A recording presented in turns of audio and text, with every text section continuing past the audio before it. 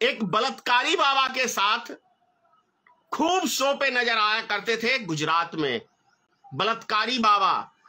बलात्कारी बाबा श्री नरेंद्र मोदी जी खूब उस बाबा के चरण छूते थे, उस बलात्कारी बाबा के।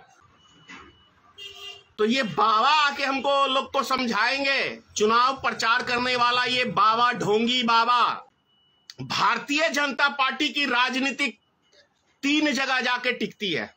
और वैसे राजनीतिक के लिए तीन चीज़ की आवश्यकता है, जिसमें तीनों चीज़ भाजपा भी पिछले कई सालों से इस्तेमाल कर रही है। जैसे कि बता दूँ आपको,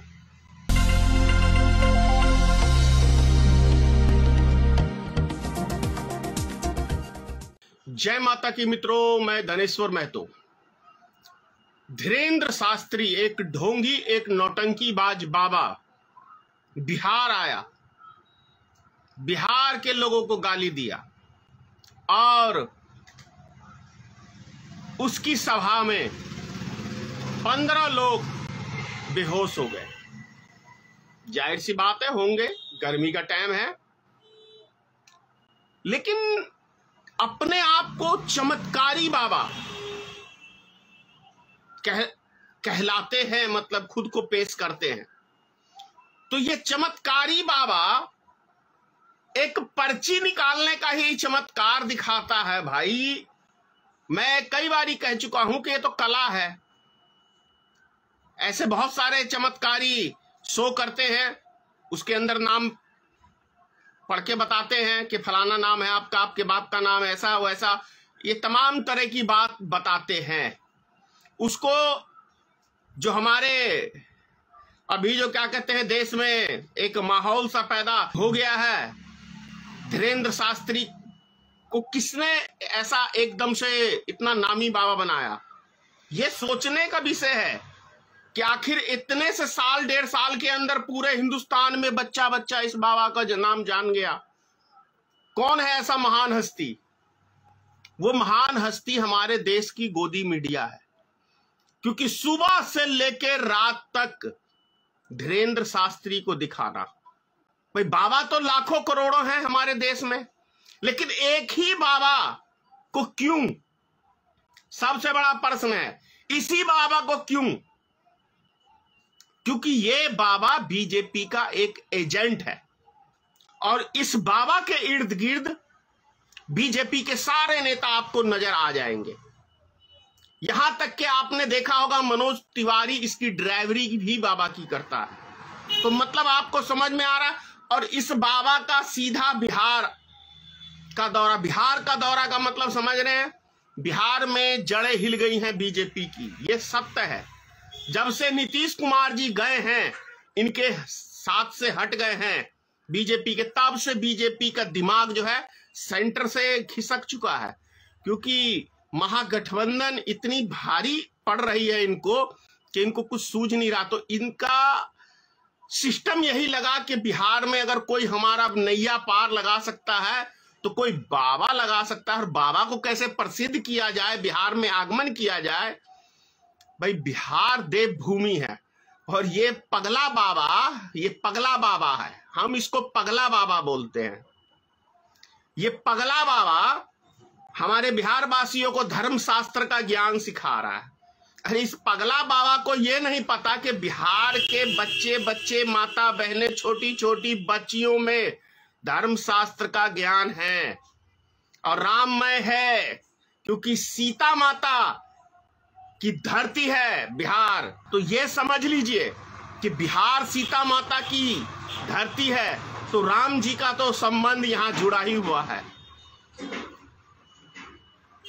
तो ये बाबा आके हमको लोग को समझाएँगे। चुनाव प्रचार करने वाला ये बाबा ढोंगी बाबा। दूसरी बात, भारतीय जनता पार्टी की राजनीतिक तीन जगह जाके टिकती है। और वैसे राजनीतिक के लिए तीन चीज़ की आवश्यकता है, जिसमें तीनों चीज़ भाजपा भी पिछले कई सालों से इस्तेमाल कर रही है। जैसे कि बता दूँ आपको, बाबाओं के इर्द गिर्द भारतीय जनता पार्टी की राजनीतिक बाखूबी घूमती है। क्यों घूमती है? यह समझने की आपको ज़रूरत है। आपको याद होगा, नरेंद्र मोदी एक बलात्कारी बाबा के साथ खूब शो पे नज़र आया करते थे गुजरात में। बलात्कारी बाबा। बलात्कारी बाबा श्री नरेंद्र मोदी जी खूब उस बाबा के चरण छूते थे, उस बलात्कारी बाबा के। और वो बाबा कौन थे? आशाराम बापू। खूब चर्चा थी देश में। आशाराम बापू की भी दस करोड़ भक्त थे, उसके बन गए। रिज़ल्ट आप सबके सामने है। कहा है? जेल में। राम रहीम के इर्द गिर्द भारतीय जनता पार्टी के नेता। और बाबा के पास क्यों जाते हैं भारतीय जनता पार्टी के नेता यह समझिए आप। क्योंकि उनके पास संख्या बल है। भक्त हैं। बाबा एक बार अपने भक्तों को इशारा करेंगे कि आप फलाने को मत दो दो। तो ज़ाहिर सी बात है, बाबा के भक्त हैं, मानेंगे, कहना। तो वोट बैंक के लिए बाबा के इर्द गिर्द भारतीय जनता पार्टी के नेता घूमते हैं। राम रहीम, पंजाब हरियाणा में ज़बरदस्त पकड़। तो इसीलिए आपने देखा होगा, पीछे राम रहीम को निकाला भी गया था जेल से। आपने देखा इस चीज़ को? क्योंकि चुनाव हरियाणा में नज़दीक आने वाला है। दूसरी चीज़, क्या चाहिए चुनाव जीतने के लिए? देश की बिकाऊ मीडिया चाहिए, जो सुबह से लेके आपके नाम का प्रचार कर सके, लोगों को गुमराह करने का काम कर सके, वो हमारे देश की गोदी मीडिया भी बाखूबी कर रही है और कैसा रोल अदा किया, कर रही है, मेरे ख्याल से छोटा से छोटा बच्चा भी मेरे हिसाब से 90 परसेंट लोगों ने टीवी देखना छोड़ दिया है जब से मोदी जी आए हैं, तब से। लोगों ने समाचार देखना बंद कर दिया है। जो भी विश्वास टिका हुआ है, अब वो सोशल मीडिया पे टिका हुआ है। बाकी इलेक्ट्रॉनिक्स मीडिया से विश्वास उठ गया है लोगों का। और मुझे लगभग तीन साल हो गए टीवी देखे हुए, नहीं तो मैं ऐसा शख्स था कि रात्रि दो बजे तक हर चैनल को सुनता था। अब बंद कर दिया हूँ तीन साल से। तो मेरे जैसे लाखों करोड़ों व्यक्ति है जिन्होंने समाचार सुनना बंद कर दिया। सोशल मीडिया पे देखता हूँ, उन पत्रकारों को सुनता हूँ, जो जिन पे विश्वास है और जो सच सच्चाई की लड़ाई लड़ते हैं, उनको सुनता हूँ मैं। दूसरी बात, धन बल चाहिए। लास्ट में सबसे महत्वपूर्ण तो धन बल है। जो भाजपा के पास ऑलरेडी कई उद्योगपति ने सौदा किया नरेंद्र मोदी के साथ, भारतीय जनता पार्टी के साथ, कि हम तुम्हारी सरकार बनाने में सारा माल देंगे, उसके बदले हमें सारा देश देना, जो आप लोग के सामने है। आप लोग के सामने है। कितना बड़ा घोटाला हुआ, कितना पैसा लूटा गया देश में, कितनी महँगाई चरम सीमा पे बढ़ाई गई, जो पिछले सत्तर सालों में महँगाई नहीं बढ़ी, वो मात्र नौ सालों में आपने दुगुना तीन गुना झेला है। तो सोचिए कि भारतीय जनता पार्टी और एक चौथा सिस्टम है, धर्म का धंधा। खूब चलता है भाई, भारतीय जनता पार्टी का, लेकिन इस धर्म के धंधे पे पब्लिक की आँखें खुल चुकी है। तो अब बच गए हैं कौन? बागेश्वर वाले, एक चौबीस पच्चीस साल का एक लड़का लौंडा। इतनी उम्र में ये अपने आप को कितना बड़ा संत और सबसे बड़ी बाबा अपना शो बंद कर दिया एक दिन में ही पटना में, दानापुर में। आखिर क्यों बंद कर दिया? सोचने की बात यह इसलिए बंद कर दिया कि यह कोई चमत्कारी, पमत्कारी बाबा नहीं है। अरे, बाबा में यदि शक्ति होती तो जो पंद्रह आदमी बेहोश हुए थे, इसके प्रोग्राम में बेहोश नहीं होते। चमत्कारी बाबा होता तो कोई भी व्यक्ति बेहोश नहीं होता इसके प्रोग्राम में।